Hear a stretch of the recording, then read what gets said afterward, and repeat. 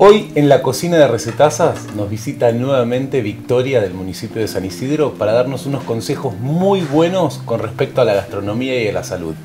Victoria, ¿Cómo, ¿Cómo estás? Bien, bien. ¿qué consejos nos traes hoy para los vecinos de San Isidro para los diabéticos? Mira, es importante agregar siempre más fibra a tus mismas preparaciones. Agregarle frutas, agregarle salvado, comprar harina integral en vez de harina blanca. Ya con eso es buenísimo. Vicky, contanos dónde podemos buscar más información. En www.sanisidro.gov.ar está toda nuestra agenda de los encuentros de diabetes. El próximo es el 10 de noviembre de 9 a 12 en el Hospital Central de San Isidro. Los esperamos. No se lo pierdan, agéndatelo. 10 de noviembre, 9 a 12. 9 a 12. Y te esperamos nuevamente con nueva información sobre nutrición y alimentación. Dale.